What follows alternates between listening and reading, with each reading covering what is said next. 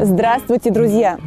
Пасти скот и охранять имущество хозяина. Именно такими навыками обладает большинство пород собак, которых мы привыкли называть рабочие. И сегодня мы представляем вам труженика с далеких Азорских островов. Породу с экзотическим названием Каудефила де Сан-Мигель. Азорские острова были открыты португальцами в 15 веке. Завезенный мореплавателями крупный рогатый скот отлично прижился в этих красивых и плодородных землях. Тогда у людей и возникла острая необходимость в пастушьей собаке, помощнике, способном укращать строптивых коров и быть надежным охранником хозяйских владений. При скрещивании первых привезенных собак с другими молосами Получилась новая порода, названная в честь одного из самых больших островов архипелага – острова Сан-Мигель. Сан-Мигельская пастушья собака Кауфила де Сан-Мигель. Сильная выносливая собака крепкого телосложения с хорошо развитой мускулатурой. Череп широкий, по длине чуть больше, чем морда, глаза средней величины темно-коричневого цвета. Купированные уши имеют форму полукруга в естественном состоянии, висячие. Конечности крепкие и мускулистые, хвост поставлен высоко, чаще всего коротко купируется. Шерсть с коротким, густым и плотным волосом, самый типичный окрас – тигровый. Рост взрослой собаки до 60 сантиметров, вес до 35 килограммов. Нас пригласила к себе в гости Ольга Кузнецова. У нее дома живет самая настоящая редкость – пастушья собака Азорских островов – Каудефила де Сан-Мигель. Здравствуй, Оля. Здравствуй, Наталья. Познакомь нас, пожалуйста, со своим замечательным питомцем. Моего питомца зовут Зара, ей три с половиной месяца, девочка. Специально мы ничего не искали, просто э, ребенок просил завести питомца. Большую породу мы не рассматривали, потому что это неудобно держать в квартире. Поэтому остановились на щенке Каудефила, потому как э, в фермерском хозяйстве случайно познакомились с родителями нашего щенка. И наблюдая в течение года за этой семейной парой, сделали выводы их адекватности, неагрессивности, сообразительности, плюс необычная внешность и так далее. Ну, решили остановить свой выбор именно на этой породе. Большинство людей никогда не слышали даже о таком названии породы, и поэтому сведений каких-то практически нет. У тебя вот не было ощущения, что ты покупаешь для себя кота в мешке? Читала об этой породе, но в основном пишется везде одно и то же. А, поэтому толком информации никакой полезной для себя найти невозможно. Основывались на том, что видели, как ведут себя, а, что кушают по отношению к окружающим, если проявляют агрессию, не проявляют. Это для меня очень было весомой причиной, потому что в семье ребенок и хотелось безопасности. А у тебя у самой уже был какой-то опыт содержания собак до этого? Нет, лично у меня опыта не было. У друзей, у знакомых были, общались с животными, но сами лично никогда не заводили. А правда, что основная особенность этих собак э, удивительным образом сочетать в себе и пастушьи, и охранные качества?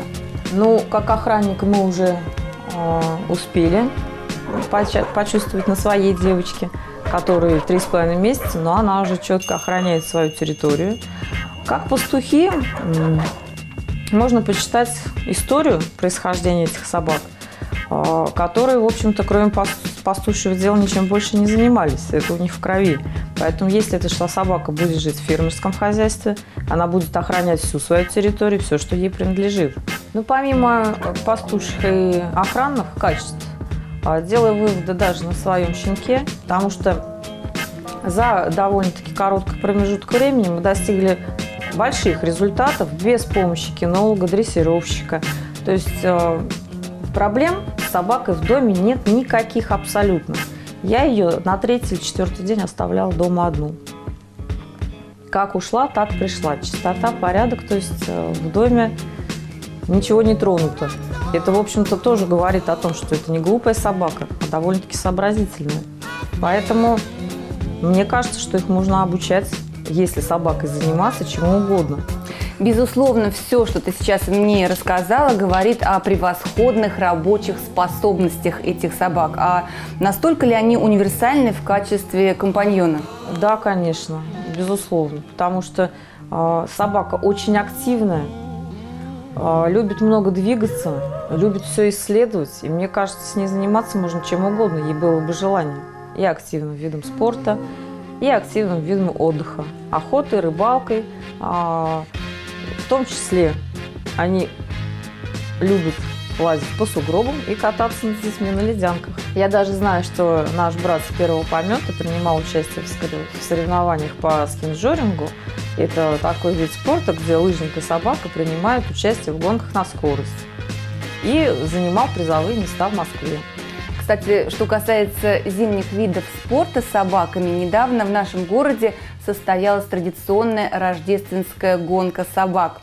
Давайте посмотрим об этом сюжет.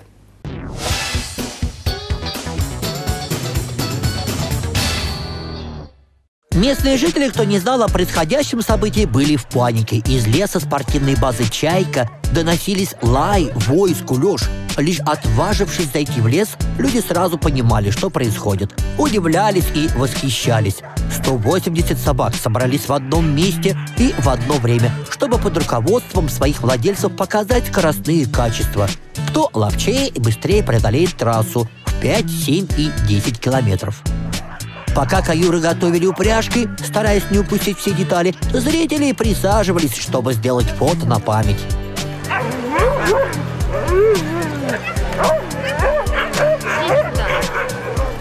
быстрее!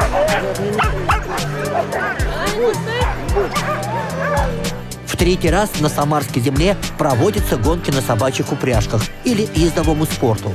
А в этом году от Российской кинологической федерации победителям вручались путевки на чемпионат мира, который пройдет в Швейцарии. Многие специалисты привыкли видеть в упряжке маламутов и хасок. И совсем необычно было увидеть в упряжке метисов.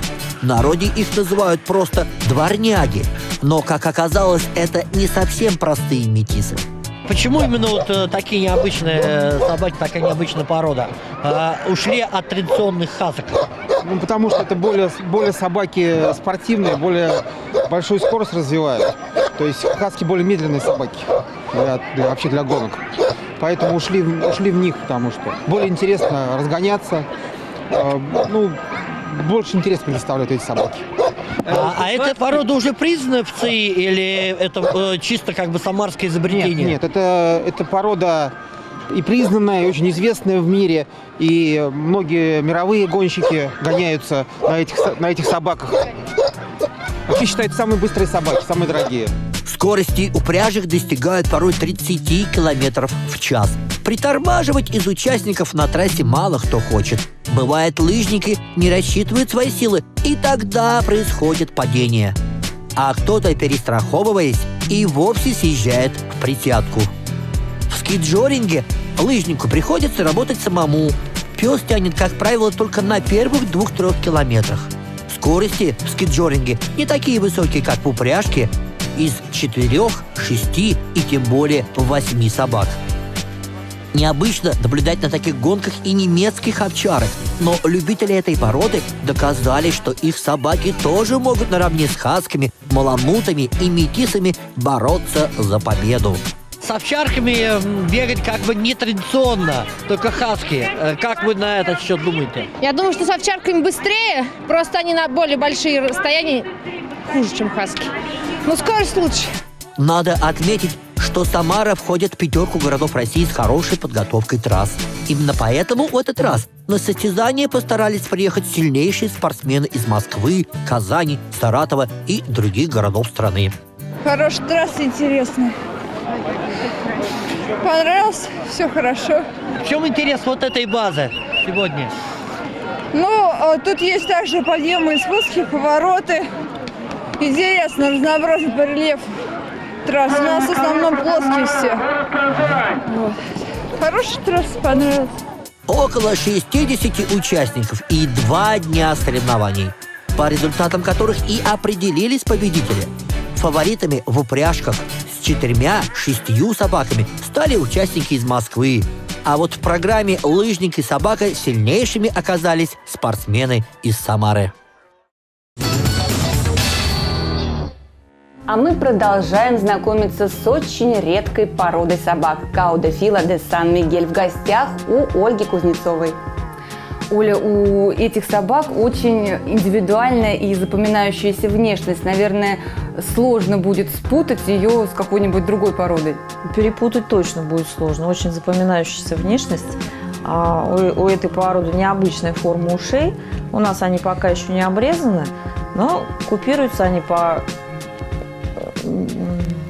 уникальному лекалу круглой формы. И собака становится, конечно, похожа тут у кого какая фантазия. Либо на мишку, либо на гиену. Но э, выражение шоколадных глазок э, все-таки склоняемся мы больше, что она похожа на мишку. Очень симпатичная мордашка. И, конечно, такую внешность, когда собака с круглыми ушами уже точно не забудешь. И перепутать тем более с кем-то трудно.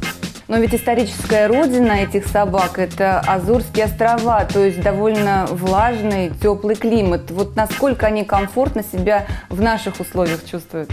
Великолепно ощущают. А, у заводчиков пара живет круглый год на улице и прекрасно себя чувствуют, шерсть блестит, они а, всегда бегают, они всегда активные, поэтому для них это только для здоровья, потому что это собака спортивная, мускулистая, если она будет сидеть на одном месте – в общем-то, она себя будет не очень хорошо чувствовать. Но наша тоже в квартире замечательно себя чувствует. Просто часто гуляем. Ну, на твой взгляд, вообще есть у этой породы перспективы стать популярной в нашей стране? Да, конечно. Я считаю, что порода будет иметь перспективность в России.